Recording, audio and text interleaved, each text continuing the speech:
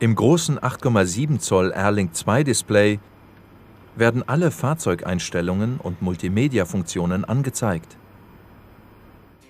Das Bose Surround Audiosystem bietet ein unvergleichliches Klangerlebnis im 9 Bass.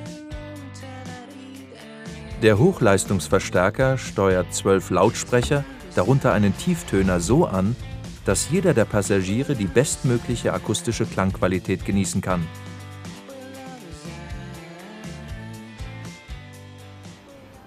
Ein USB-Anschluss und ein SD-Kartenleser befinden sich im Ablagefach der Mittelkonsole. Für die Mitfahrer der zweiten Sitzreihe sind zwei USB-Buchsen und ein Klinkenanschluss im unteren Teil der Mittelkonsole vorhanden